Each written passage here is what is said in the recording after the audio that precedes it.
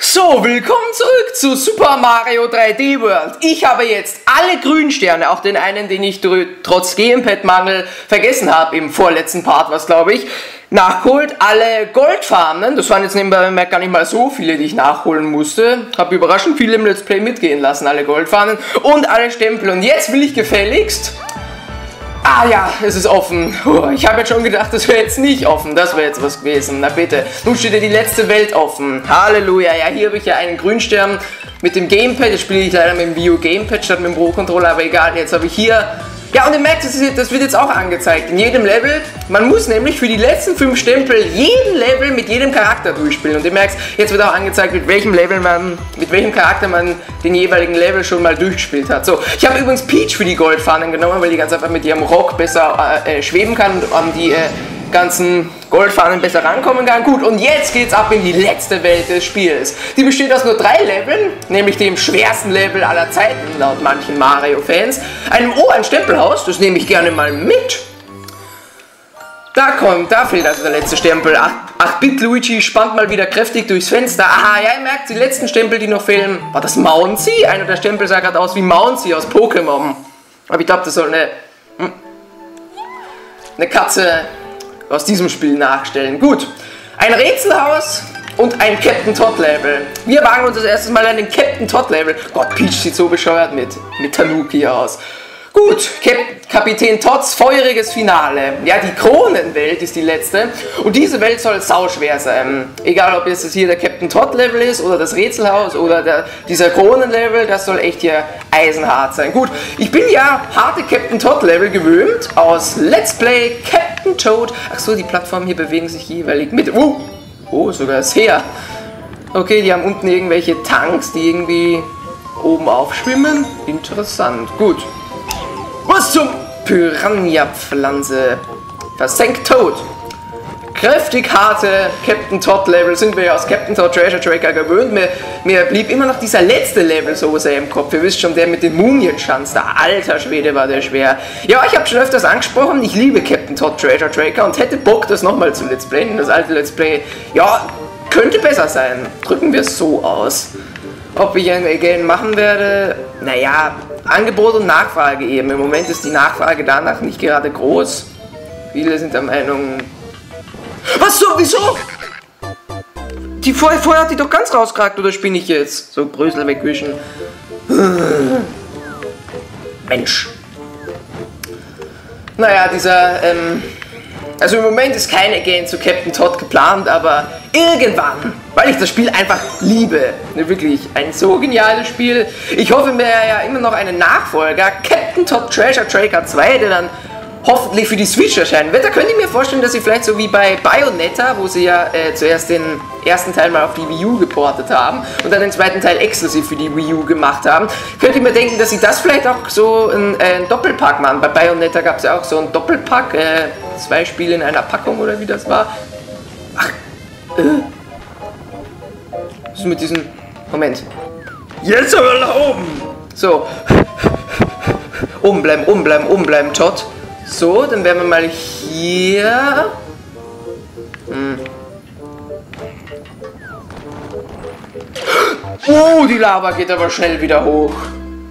Meine Güte. Okay, der ist hartnäckig. Aber diese Captain Todd Level, die bin ich ja jetzt mittlerweile durch eisenhartes Training. Was mir auch in Captain Todd Treasure Tracker irrsinnig in Erinnerung blieb, war dieser Level mit den, äh, dieser Eisenfestung, die untergegangen ist. Das war auch so ein Lava-Level wie hier. Das ist jetzt eigentlich das letzte Mal, dass man Captain Todd Timeline-technisch gesehen hat. Denn ihr wisst ja, Captain Todd Treasure Tracker stellte ja ein Prequel zu Super Mario 3D World da, was man an der letzten Zwischensequenz aus diesem Spiel bemerkt hat, dass, die ja, dass dieses Spiel ja also 3D World spielt ja direkt nach Captain Todd Treasure Tracker. Die Zwischensequenz am Ende fand ich ganz witzig, wo einfach nochmal das Intro vom von äh, 3D World ähm, am Ende von Captain Todd Treasure Tracker halt. Ich hab doch jetzt ins Mikrofon gepustet. Wo ist denn das Mikrofon nebenbei? Ah, hier. Naja, ich habe jetzt in die falsche Stelle des Gamepads. Aber das muss doch trotzdem Geld. Ich meine, meine Stimme lässt ja die ganze Zeit auch diese Dinger in die Höhe schnellen. Mann, oh Mann, oh Mann. Und die Steuerung musst du mir nicht jedes Mal ansagen. Okay. Hat jetzt aber wirklich nicht so lange gebraucht, die Goldfahnen alle zusammenzukriegen. Also ich hätte mir das jetzt länger vorgestellt, aber ich habe scheinbar echt im Let's Play nur ganz wenige verpasst. Das freut mich natürlich. Umso weniger Arbeit für mich. Aber diese letzte Welt hier, die ist gefürchtet unter den, sogar unter den Hardcore-Zockern, ist diese Welt hier echt gefürchtet. Vielleicht wird deshalb 3D-Welt irgendwie so hochgejubelt, es halt was für Hardcore-Zocker ist. Heutzutage verkaufen sich ja irgendwie nur... Achso, nein, falsch. Unten muss es ja sein. So. Was führe ich auf? Aber dieser Level mit der Eisenfestung als Captain Todd, der war... Alter Schwede, diese Piranha-Pflanze. Dieser Level mit der...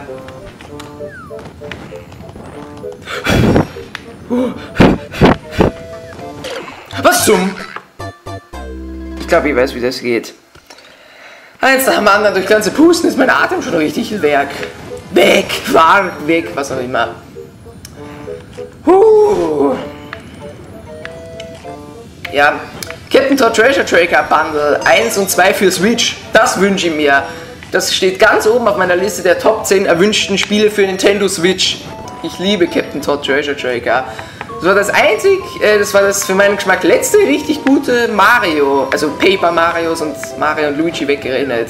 Na gut, können wir auch so gelten lassen. Den Color Splash und Paper Jam waren jetzt doch sehr umstritten. Oh Mann. Was führen die mit unserem Klempner auf? Aber tot? Ja, aber ich bilde mir ein. Moment. Bin kurz.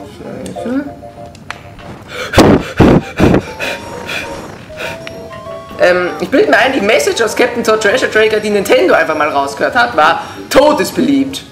Das ist er nicht. Man erinnere sich an Paper Jam und Color Splash, wo sie ja mit Toads übertrieben haben, überall Toads reingepusht haben, statt innovative Charaktere und das hat echt genervt. Ja, so gesehen, äh, ja, ich mag halt Captain Todd. Die Betonung liegt auf einem Tod und nicht 5000, wie es in Paper Jam war. Ich habe nicht mitgezählt, aber alter Schwede, wie viele Tods müssen das in Paper Jam gewesen sein? In Color Splash hatten diese Tods dann wenigstens noch irgendeine Persönlichkeit und waren irgendwie noch interessanter. Wenn Paper Jam einfach massenweise Seelen und charakterlose Toads, die man einfach retten musste, die von irgendwelchen Viechern, die eigentlich aus 3D-Land stammten, ihr wisst schon, diese Viecher da in der Wüste, die die Toads aufgefressen haben und so, das hat schon an den Nerven gezerrt, muss man sagen. Und wie mir hat Paper Jam ja nicht wirklich gefallen. Uh, knapp, aber es hat funktioniert. Gut. Eieieiei.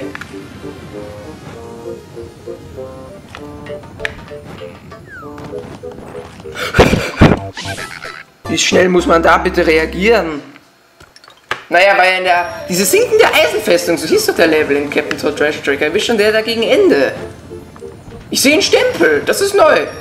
Ich meine, in Captain Todd Treasure Tracker gab es keine Stempel und in den meisten Captain Todd Leveln in diesem Spiel nicht. Ich erwähne es aber nochmal gerne. Captain Todd Treasure Tracker sollte ursprünglich ein The Legend of Zelda Spin-Off werden. Hm? Ja, weil Link ja auch nicht springen kann wie Captain Todd. Und dann hat Miyamoto gesagt, nee, nee, wir haben schon Hyrule Warriors für die Wii U.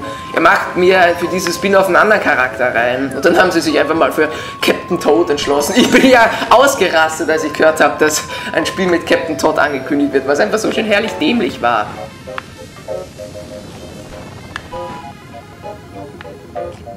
Alles hoch! Immer hoch! Alles Gute kommt von oben! So, Stimmmuskeln bereithalten. Hoch! Wow.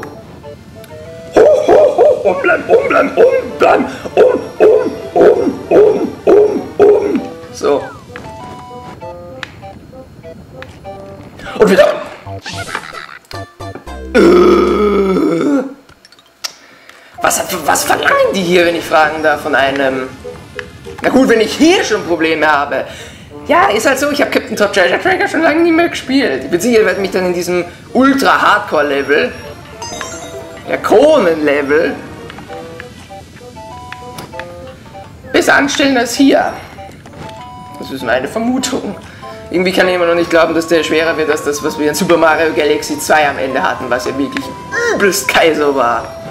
Na gut, ich bin sicher Kaiser Mario World konnte man, könnte man nicht ohne Save States durchspielen. Naja, egal. Ich will Captain Todd Treasure Tracker 2. Bitte, Nintendo. Und hoch und hoch und hoch. Mann, oh Mann, oh Mann, oh Mann. Wie soll ich denn bemerkt an der Piranha-Pflanze vorbeikommen, um den Grünstern zu erreichen? Hoch und oben bleiben, oben bleiben, oben bleiben, oben bleiben, oben bleiben. Wieso? Ich hab doch jetzt... Ich kann nicht die ganze Zeit immer pusten, das ist doch schlecht für meine Gesundheit.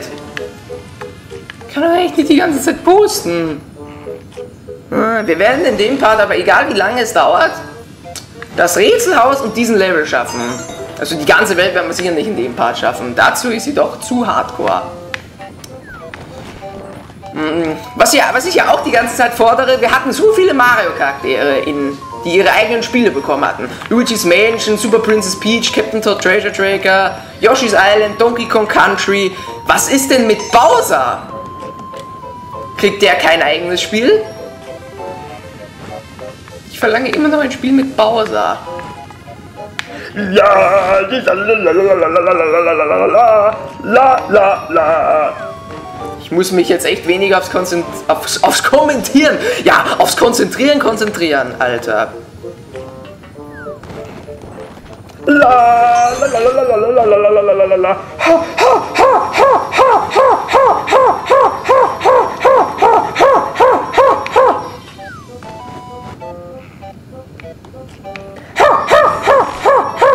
Wow. Ich klinge bestimmt völlig bescheuert, wenn ihr euch das ja jetzt anhört, aber was soll ich tun? Und vor allem, was soll ich hier tun, um an den Grünstern ranzukommen? Moment. Ich konnte nicht wissen, dass die... Ich flipp gleich aus. Das mag sich jetzt völlig bescheuert anhören, wenn ich hier gerade so Geräusche mache. Aber wenn ich puste, dann wird mir schwindlig und dann kann ich nicht mehr zocken. Ich muss irgendwie ins Mikro reinbrüllen damit ich weiterhin konzentriert zocken kann. Sonst dehydriert oder wie, wie man das nennt. Wenn man zu schnell atmet, dann dehydriert man ja. Oder nennt man das so? Ich glaube schon. Ja, ich möchte ja einen Erste-Hilfe-Kurs belegen, wenn ich dann ein bisschen älter bin. Das ist wichtig. So, habe ich das richtig verstanden? Der einzige Grünstern, der mir noch fehlt, ist hinter dieser Pflanze. Die erwarten auch nicht von mir. Ich glaube, ich weiß, wie das geht. Ja, jetzt weiß ich's. Ja, ja, ja, ja, ja, ja, ja, ja, ja.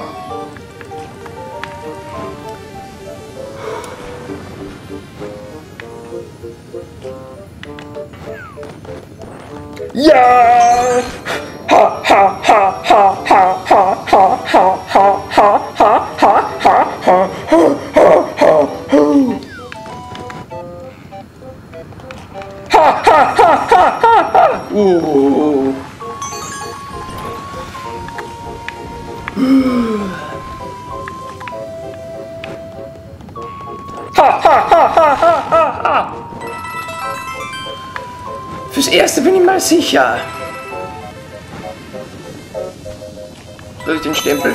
Mitgehen? Ja. Ah ja, der Level ist ja eh erst zu Ende, wenn wir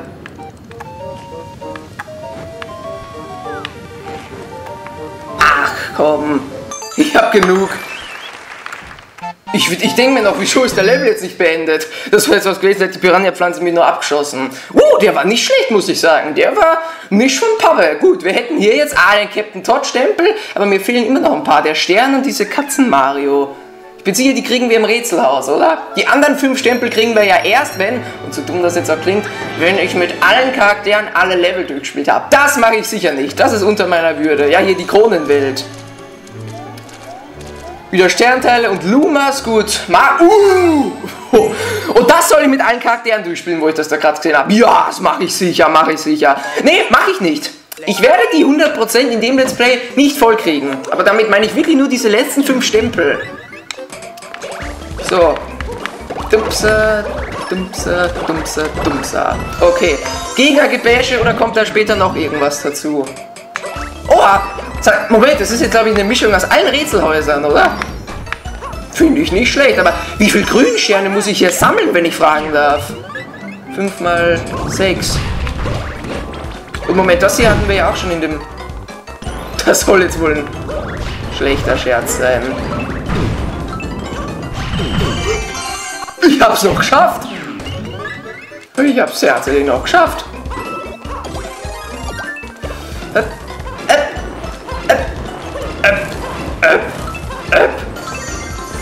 Uh, hier geht der Fang ab.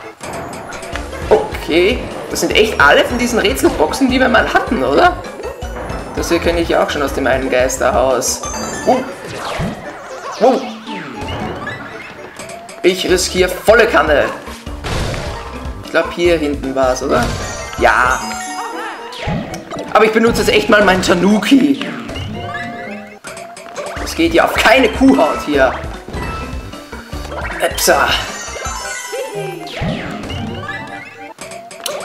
Aha. So.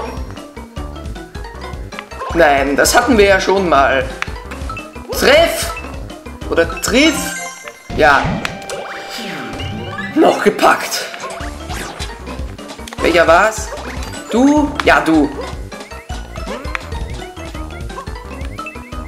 Ja. Huh.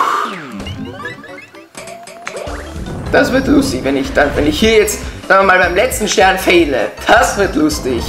Oh meine Güte. Ich habe Angst.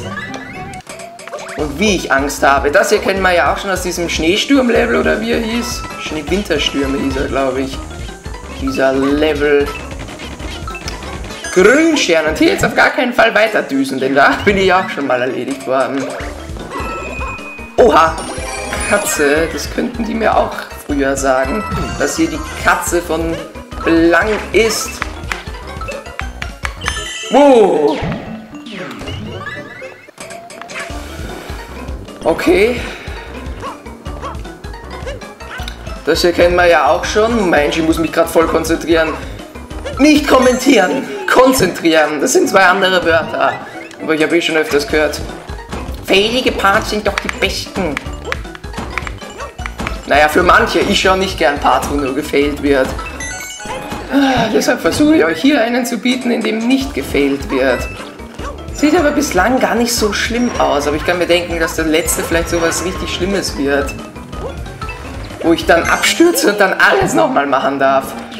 Oh, ich schwitze jetzt auch so. Das kann auch tödlich sein. Okay, war nicht so schlimm. Tanuki. Weh, ich hätte jetzt die Katze beim nächsten gebraucht.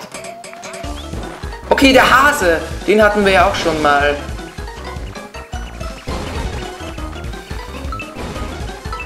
Komm, du Hase. Oh, das war jetzt knapp. Der Hase, der ist nämlich auf Glück. Der basiert auf Glück. Ja, uh, sogar damit getroffen. Bislang läuft's gut, kein Fehl. Aber das kann sich schnell ändern. Wie ist das hier gedacht?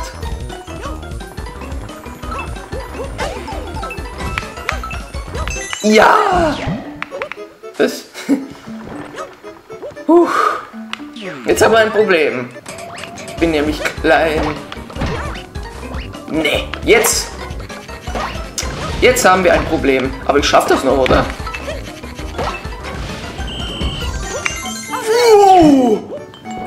So, komm, 10 noch. Äh, sieht gut aus. Ich höre gerade ein Rasenmäher. Im Winter? Was zur Hölle? Und selbst das habe ich geschafft. Ist das Skill oder ist das Skill? Jetzt! oh, nee. Ein weiteres Mal tue ich euch das nicht an. Ich schneide, bis ich wieder an der Stelle bin. Bis gleich.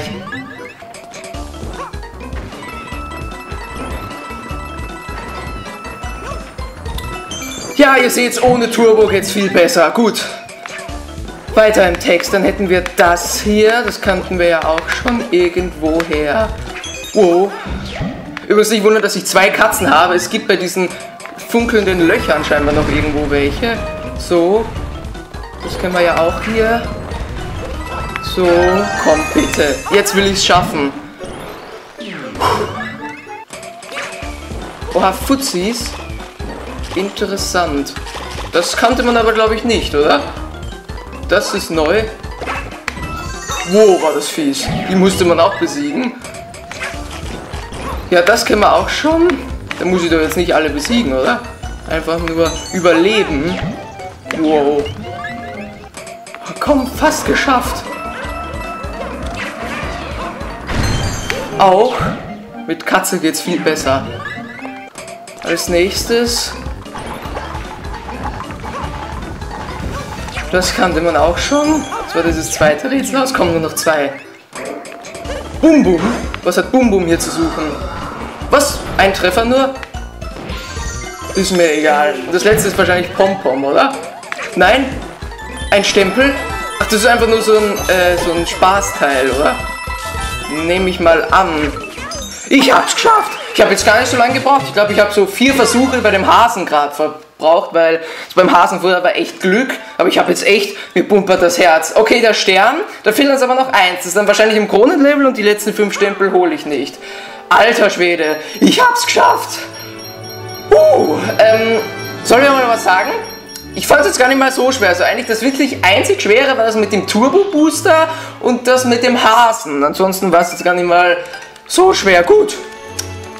Puh, was machen wir jetzt? Der Weg der Champions. Okay, hier gibt es doch Grünsterne. Das war im letzten Level von 3D Land nicht so. Gut, ich würde mal vorschlagen, äh, für den Part war es das jetzt mal. Mir pumpert das Herz wie Sau. Und im nächsten Part machen wir dann das, das wirklich große Finale.